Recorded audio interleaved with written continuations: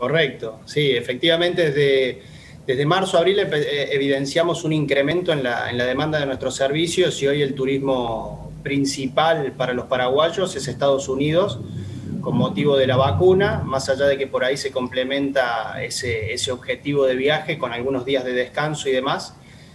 Eh, y bueno, en definitiva nosotros como compañía, Ciscar eh, como empresa, ha ido alineando su, su, propuesta de valor, sus servicios a las necesidades del viajero actual. ¿Cuáles son esos servicios que ofrece Ciscar en concreto, Agustín? Bueno, para empezar, le dijimos que sí a la pandemia, es decir, nuestros productos hoy tienen alcance en materia de coronavirus por temas médicos y no médicos. Acá hago la diferenciación porque cualquiera de nuestros productos, sea donde uno lo, compre, tiene cobertura en, lo que es eh, temas médicos vinculados al coronavirus hasta el monto máximo global. Y si quisiera complementarlo para temas no médicos, puede adicionarle un upgrade que tiene nombre COVID Extra y lo que hace es contemplar temas no médicos, pero que también están relacionados con la pandemia. Es decir, si por de pronto uno se hisopa o se hace un PCR 72, 48 horas antes de salir y le da positivo, por ende no puede viajar.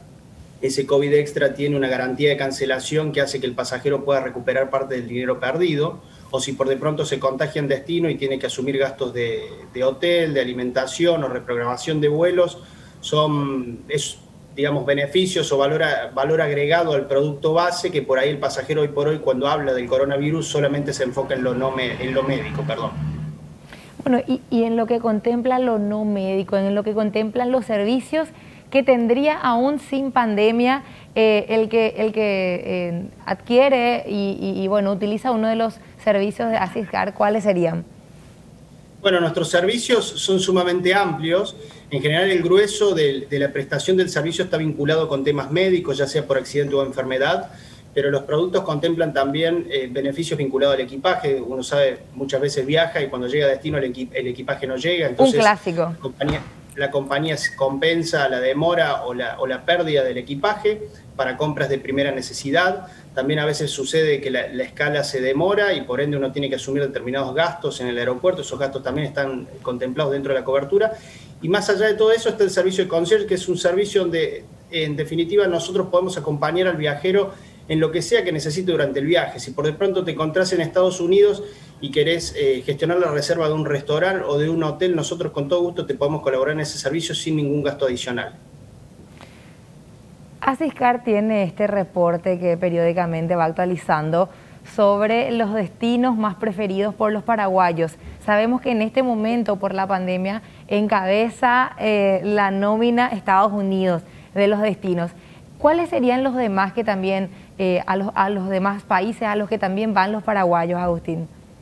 Bueno, el segundo más importante para, para, el paraguayo es Argentina. Hoy lamentablemente el país se encuentra cerrado para, para, el ingreso de extranjeros, pero más allá de estos dos destinos, Estados Unidos y Argentina, que mencionamos eh, en un principio, hay otros destinos como España, Brasil, México, Chile, Perú, Uruguay, Colombia y Bolivia dependiendo de las restricciones o el estado o la situación sanitaria que esté viviendo el país, hay algunos en los que hoy se puede ingresar con determinados requisitos o cumpliendo determinados protocolos, en otros, como ser el caso de Chile, por ejemplo, está en una situación parecida a la de Argentina, donde no, no, se puede ingresar aún.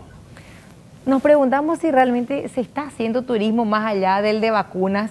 Eh, creo que también hay gente que está aprovechando los precios más bajos Realmente hay muchas promociones en el sector eh, de, los hoteles, de los destinos turísticos en general y quizás también por ese lado viene un poquitito que, hay gente que está tomando este tipo de paquetes que va más allá de, lo del coronavirus.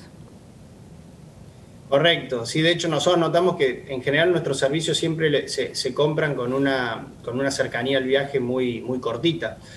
Hoy, hoy por hoy vemos en algunos casos donde vendemos productos quizás con un inicio de vigencia de acá 30, 60 o hasta 90 días. Se nota que claramente la gente está a la expectativa de, ofertas o propuestas en, precio accesibles eh, y donde hoy por hoy todo prestador de servicio vinculado al turismo eh, ofrece una gama de flexibilidad para cambios, que es lo que quizás anima al, cliente o al público en general a, lanzarse a, comprar algo que quizás vaya a gozarlo de acá tres o seis meses a la vista. De todas maneras, y discúlpame, Eh, hay países, digo, España abrió, abrió sus fronteras y en la medida que uno esté vacunado puede ingresar. Nosotros hemos vendido eh, parte de nuestra venta, está destinada a ese, a ese país y creemos que en la medida que vaya avanzando el plan de vacunación eh, en Paraguay, posiblemente vamos a ir teniendo mayor acceso a distintos destinos en el mundo.